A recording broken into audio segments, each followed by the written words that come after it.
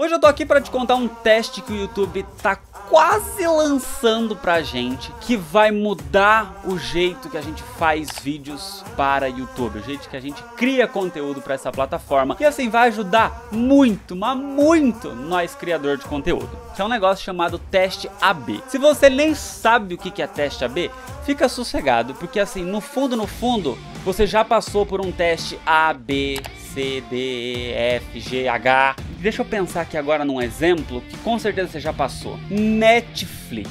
Se você assiste Netflix, você já passou por um teste ABCD, pelo menos. Quando você abre Netflix, tem aquele monte de imagem lá, né? Aquele monte de capa de, de, de série ou de filme. O fato de você não clicar em uma capa vai fazer com que ela mude a próxima vez que você abrir o Netflix. E aí você pergunta, Kaique, mas e daí? E daí que trocou? E daí que a segunda capa, a terceira capa que talvez apareça para você lá, pode ser que você clique. Por quê?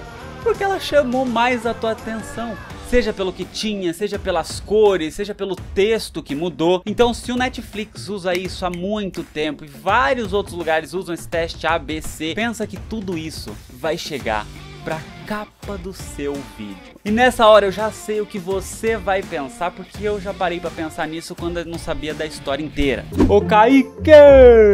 Então quer dizer que eu vou ter que fazer mais de uma capa agora? Vou ter que fazer duas, três, quatro, cinco, meu? É, vai, vai ter. Vai ter não, eu acho que vai ser opcional esse negócio de teste ABC, mas assim, o YouTube tá te dando uma ferramenta que vai possibilitar os seus vídeos terem o dobro, o triplo, o quádruplo de visualização. Então, eu no teu lugar, com certeza ia fazer 3, 4, 5, se o YouTube deixar fazer 100, vou fazer, vou testar. Hoje a gente não sabe qual capa tá melhor. A gente faz e é tá lá, entendeu? Então pode ser que a gente o insucesso de alguns vídeos seja pela capa.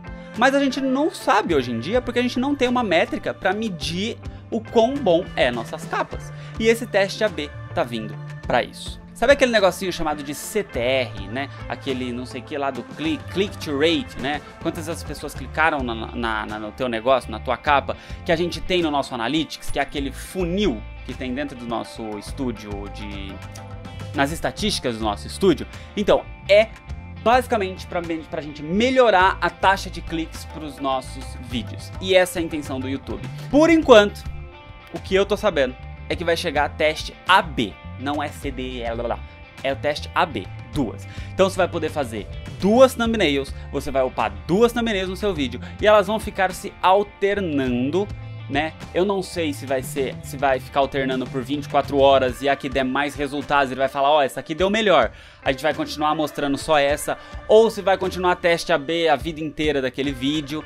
Ainda não sabemos. O que eu sei é que vai chegar um teste que vai possibilitar nós criadores postarmos duas capas e o YouTube vai testar as duas capas e vai dizer para ela e vai dizer pra gente, não vai dizer pra ela, vai dizer pra gente qual delas atraiu mais o clique. Com certeza eu vou te manter informado com isso, então se inscreve e ativa as notificações que assim que for lançada essa bagaça, eu vou vir com um vídeo ensinando a mexer, a fazer, a como que funciona, como vai funcionar, como que a gente vai conseguir medir, se vai vir lá no, nas estatísticas, se vai vir no painel, os resultados dessa medição. Então já se inscreve e ativa as notificações aqui do Escola para Youtubers para você ficar sabendo tanto por vídeo quanto pela nossa aba comunidade, pela comunidade aqui do canal, que eu tô postando diariamente lá, quase, é informações sobre a plataforma que vão fazer a diferença para o crescimento do seu canal. A gente se vê na nossa próxima aula e tchau!